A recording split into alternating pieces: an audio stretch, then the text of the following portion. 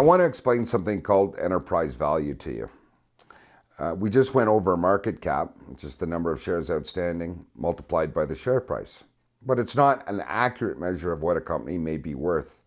Uh, there's lots of ways we'll get into going forward. But enterprise value right now is just simply the market cap less the cash plus the debt. The reason we add back the cash uh, in enterprise value is because if it, we're trying to get a, an indication of what it may cost to buy a company. If a company has cash in treasury, then you can use that cash to help buy the company.